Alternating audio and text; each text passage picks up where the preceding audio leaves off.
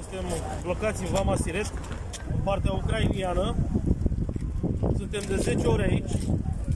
Nimeni nu ne bagă în seamă, nu vor să ne elibereze, să trecem către România. Nimeni nu ne dă o explicație.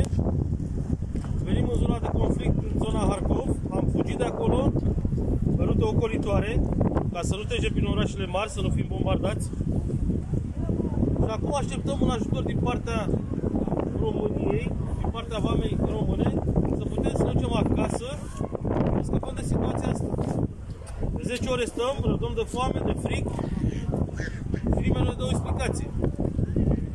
Aici situația, vin valuri, valuri de ucrainieni care au prioritate, Chiar și alte naționalități.